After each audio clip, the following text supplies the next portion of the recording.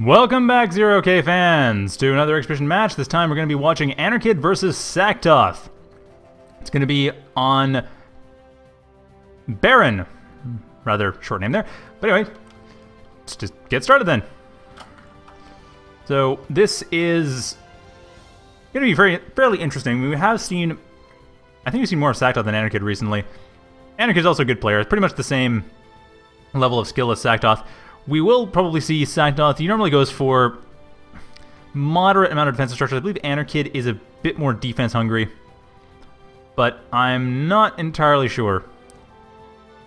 And the players in the chat pointing out that Goda has been playing Planetary Annihilation because he plays everything. So I really don't, I don't see the problem there. I mean, if it's a Total Annihilation based game, he's playing it. And probably beating everyone else at it too, because that's Goda. Doesn't call himself the Goda of Spring for nothing. However, he's not playing right now. Saktoth and Anarchid are, and Saktoth getting a couple a couple glaives, then a couple more. Gonna go for a bit of raiding from the looks of it. Barren is a good map for raiding. Anarchid, on the other hand, just dirtbag scouting. Haven't seen this in a while, actually. I, I think it was about the time that the dirtbag was changed to block bots as well as vehicles. You stopped really seeing dirtbag openers being very common, but there it is, a dirtbag scout. Not a bad scout either. 35 metal for being able to see what's going on. It should be able to get through the glaives, no problem. Just jump over them and keep going. And it's not going to deal any damage, but it's just going to see what Saktoth is up to. And, of course, Saktoth just expanding out. Pretty naked expansion. Anarchid, on the other hand, is setting up some laser turrets around here. I don't know if I totally agree with this placement. I I mean, just double check. I think it might have done better on the hill here. I can understand why it's here, but going, you can kind of go down from this hill, and it's fairly easy to get down to the Lotus, hit it from above. And that dirtbag did die. It died right in the middle here, didn't manage to actually get to the Cloakybot factory. That's the one thing it could have done, is slow down Saktoth's production. But Oh yeah, point, okay. Sprying pointing out in chat that the 35 cost was a pretty big change. And yeah, I, I can see why one wouldn't mass dirtbags as a result. But single dirtbag scout, when you compare it to the cost of like 80 metal for bandits or 65 metal for glaives, it's not the worst cost in the world for a scout. I mean, scouting... Oh, okay. Okay, Sprying pointing out in chat that their vision radius is terrible. Okay, that is a good point. I should point out I don't dirtbag scout much myself.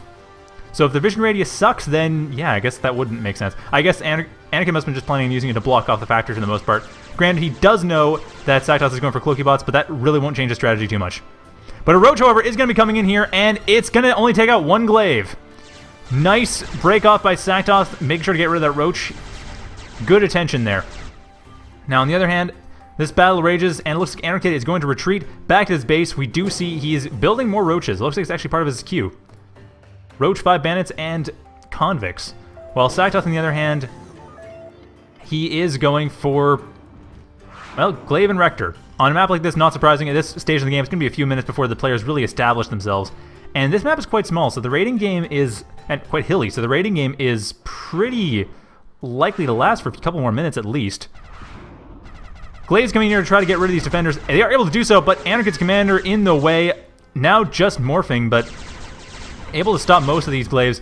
Uh, they are able to get rid of the defenders, though, so this area is a bit open. Anarchid keeping his commander here and probably going to rebuild these these defenders just for the next attack coming in. While Saktoth takes advantage of this to start expanding along the west side of the map, taking the equivalent expansions to what Anarchid already has. So Anarchid does have a bit of an economic advantage at this point, or very slight. Saktoth has taken more of the bases around, or the mexes around his north side.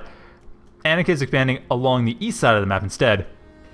He is expanding as well to the south, but it's not simultaneous. And he's actually going to run into some glaives as well. In fact, I think one of these bandits heavily damaged. The other bandit won't be able to take out three glaives, and the glaives are going to run into the laser tower from the looks of One of them is going to run into the laser turret, to the Lotus. No, they all are. And this point, Anarchid is not... Well, he's going to lose a max, but he is going to take out the three glaives. So he's going to make up the money for that loss somewhat.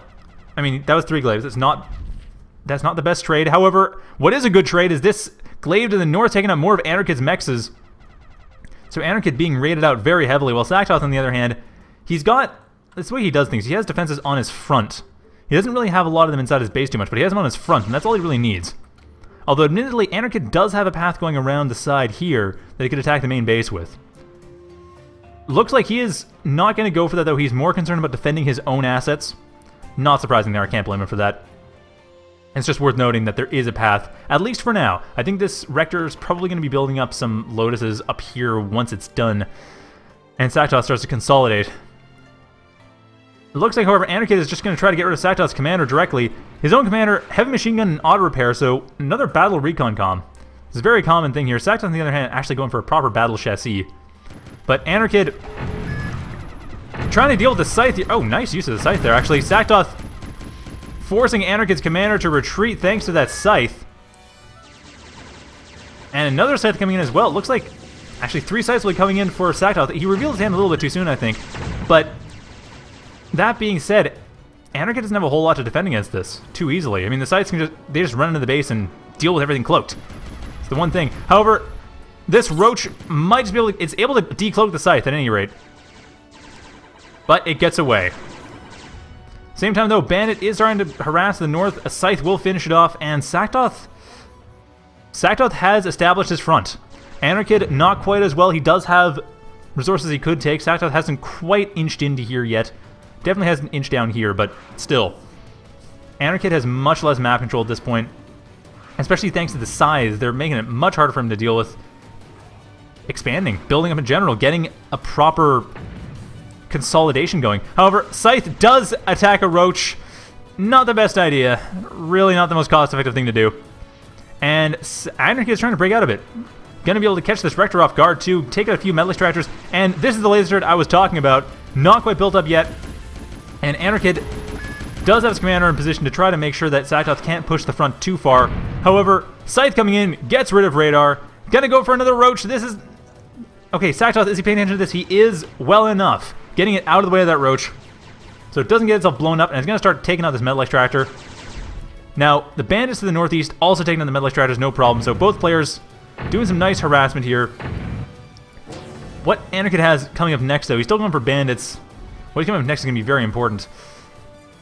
And he's actually managing to reassert himself. He's managing to get back into the center. He does have Defender to deal with this Metal Extractor, and Saktoth not quite ahead in economy anymore. Anarchid able to harass out a lot of, well, didn't quite harass out this metal extractor, but he's able to go around the side.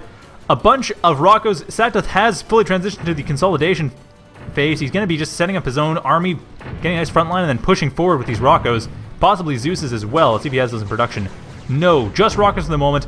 But these Glaives are not able to get through that number of Rockos. Able to get rid of this mex, though. That's one more mex down, and Actually, one Rocko down too. This Glaive, this Bandit, I should say, is doing a great job. Not quite good enough, though. Not quite as fast as a Glaive, so not quite able to dodge Rocko shots as effectively as a Glaive would. And Anarchid moves commander forward, just attacking himself, raiding along the front line. Through the trench and going up the hill to deal with these defenders. Not the best idea with the Rockos mind. His commander is going to go down pretty soon. The Rockos will be able to take it out. Anarchid's only chance is to jump into them, I guess. No, not even then. That wouldn't even help. Jump when they attack, I suppose, but no, does not matter. Anarchid, his commander, is under great threat. I, he's not going to escape from this. This is it. This is this is it. That's the commander down. That is Anarchid's commander gone down. His economic disadvantage has increased. I mean, he raided earlier, which helps, but even then, massive economic disadvantage as a result. He has to push. Well, he feels he has to push now, and he definitely is pushing now. Bit isn't expanding to the north, though, or at least trying to harass this west side here. Distract Saktoth a bit, because Anarchid can't really fight in the front line. But he can distract Saktoth, move his forces back, or force Saktoth to move his forces back, and deal with economic harassment. Now, Anarchid continuing to build up roaches. He has a roach set up. No, he's not setting it up to defend against these Rockos. He doesn't appear to be aware they're there, and I don't believe he is. Double checking his radar. He is line of sight only. Now, Saktoth, on the other hand, does have radar, only on the west side of the map, but still, Anarchid is line of sight only. He is not aware of these Rockos that are going to bear down on his base. This is why I said he probably should have had a Lotus up here. Because that would have stopped this Rocko attack, but not now. These Rockos are going to take care of the Lotus before it even starts to attack from the look... Or no, just barely attacks, but even then, it's it's going down. A Metal Extractor's gone down, and Anarchid's entire base is going to be taken over by these Rockos. I don't see Anarchid even going for a counterattack. He is going to the west somewhat, but he is down. This thing is it. Yep, this is it. GG from Anarchid, that is game. So, another game. I hope you enjoyed that. Much more even game, I suppose, than the last time, but hey, Raider heavy game. That's what happens. Although, I do like to see that the Rockos were used. More than just Raiders. So I'll be back in just a minute or two with the next game, so stay tuned.